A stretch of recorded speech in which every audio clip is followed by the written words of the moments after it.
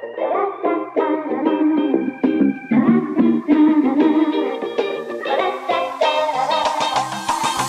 is up everyone, welcome back to another top 10 video where this time, we're going to be counting down the best players from the third week of competition in stage 4. As we reach the halfway point of this final stage, winning and losing streaks alike continue to grow. Having one of their most successful weeks to date, the LA Valiant won the fourth battle for LA and then went on to become only the fourth team in the league to hand NYXL a loss.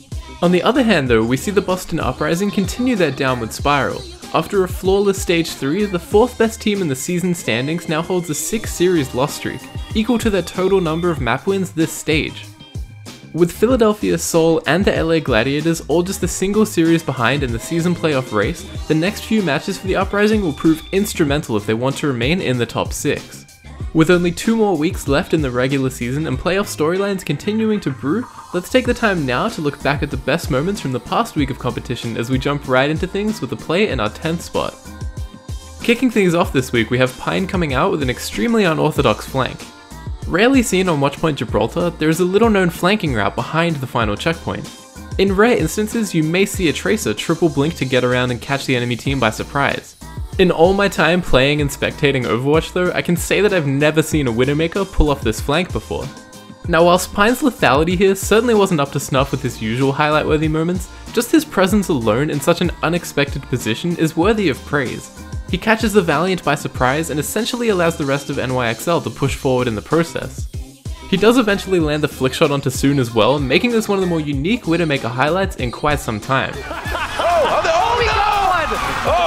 It's a problem. Coming in at number 9, we have Babybay stepping up big time as the San Francisco Shock became only the second team to take down a revitalized Dallas Fuel here in Stage 4. Emerging from the spawn room on the Hanzo, a hero we don't typically see Babybay switch over to, he wastes very little time getting into position and picking apart the opposing composition. He opens with this ridiculous headshot onto Taimu that certainly doesn't even seem possible from that angle. After forcing out the resurrect from Harry Hook, Babybay then goes on to take down the Mercy mid-flight from yet again an awkward angle. He fires a few arrows into Mickie and scatters the Baby D.Va for good measure. That opening pick really caught Dallas off guard, as Babybay entirely opened up the point for the rest of his team and ensured that point A was taken at a blistering pace.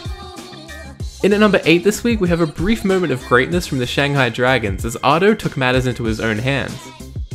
With time dwindling away and a series already lost, Ado flanks behind the Seoul Dynasty with a pulse bomb at the ready. He notices Gambler pocketing Jaehong, throws the pulse bomb out, connects, and finds both supports with a single ultimate. Definitely an excellent trade, but the play isn't over just yet as he recalls to instantly burst down Fleta as well. A really great triple kill nearly in overtime as Ado steps up to the plate and allows his team to at least capture the second checkpoint on Dorado. Ado knows these guys are there, perfect stick. Oh, he got oh, two, Gambler! Nice. Jayhawk's not going to save you there, he's trying to get away from you! You got cooties, fam! Coming in at number 7, we stay on Dorado but jump to the series between Philly and New York. Again, in a similar situation to the previous highlight with the outcome of the series already determined, Philly continues to press forward. Now typically most Widowmakers find difficulty when situated in a duel with Pine, Carpe though relishes in these moments as we see him grapple up and take down Pine upon landing to start things out.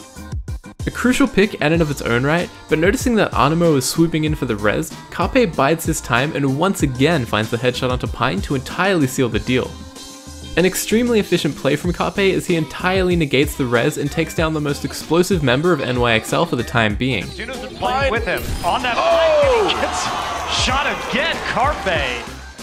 In a number 6 this week, we have an engagement that was all too confusing in the heat of the moment, but actually proved quite miraculous when slowed down. Watching in real time, we can see Manneten send forth his Graviton Surge to find four members of the Seoul Dynasty.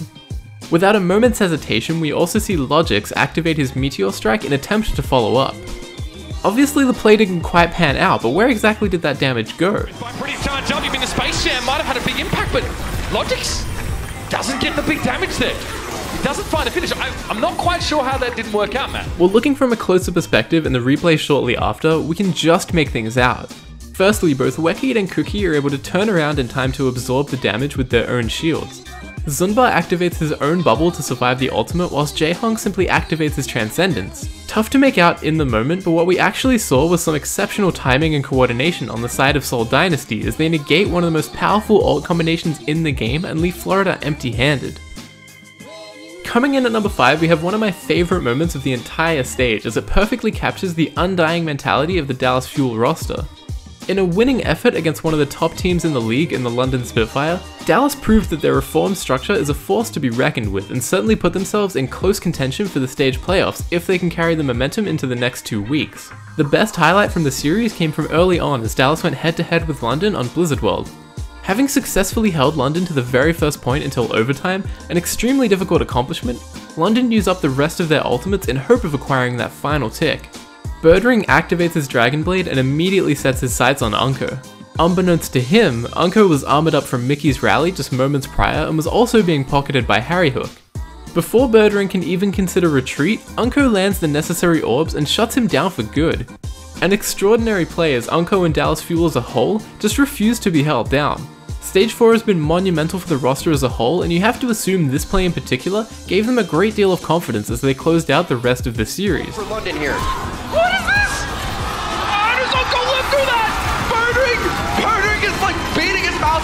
Table right now. How does he not get that kill? In at number 4, fittingly enough, we have a noteworthy moment from the fourth and final battle of LA this regular season. Despite Valiant taking the series in one of the most impressive weeks yet, it goes without saying that the Gladiators put up an exceptional fight and we see that demonstrated throughout the play and focus as Hydration goes on a tear. Opening with a quick kill onto Kariv, Hydration blasts himself into the objective to barrage Soon, Fate, and even land some damage onto Space. A remarkable play on its own, but when observing from a different perspective, we can see that Hydration most certainly would have died if it hadn't been for a really well-timed bubble from Void. A really great turnaround as the Gladiators regain control of the point here on Oasis. In our third spot this week, we have an absolutely genius play from Zunba and Wekeed of the Seoul Dynasty. Now typically, self-destructs can be seen as nothing more than simple zoning ults, explosives intended to clear out an area and in this case, force the opposition off of the objective. As Shanghai are forced away from the lethal explosion, Wekeed just acquires his ultimate outside of the point and unleashes a massive barrage onto four members of the Shanghai squad. A sensational play as the setup from Zunba allows Wekeed to obliterate 4 enemies and close out the first phase of Lijiang Tower in style. In our second spot this week, we have another extraordinary play from Pine of the New York Excelsior, and I mean, at this point, we all just know what to expect. With the series tied up one apiece against the LA Valiant, Pine opens the third map with a typical flank wherein it goes without saying that he single-handedly wins the teamfight. he first takes down Soon and forces the res from Custer.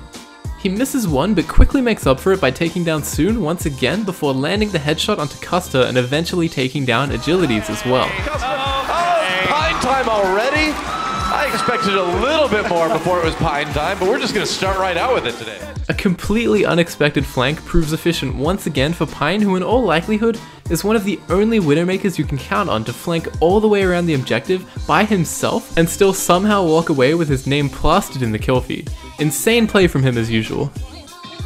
But coming in at number 1 this week, the top spot simply had to go to Space of the LA Valiant as he helps his team put an end to the insane 14 match winning streak of the NYXL.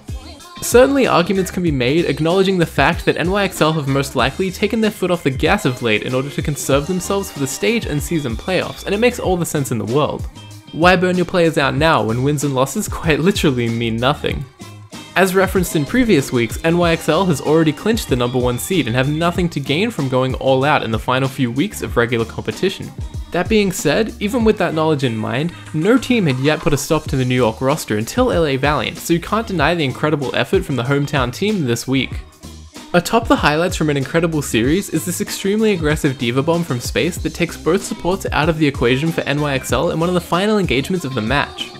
As mentioned prior, D.Va Bombs are typically used as zoning ultimates and occasionally find a kill or two here and there, even at the highest level of competition.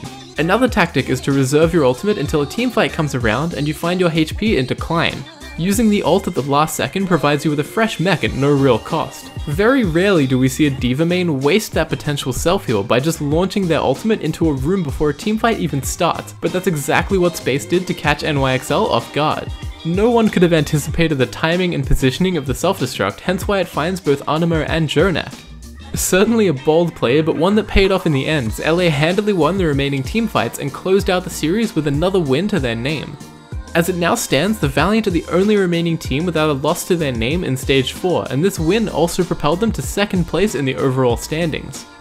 So that does it for another week of great highlights, only two weeks remain before we reach the very first Overwatch League playoffs. Which teams do you think we'll see stick it out to the very end? Who do you think we'll see make the final stage playoffs of 2018? Let me know your thoughts in the comments down below, but as always, thanks for tuning in and I'll see you in the next one.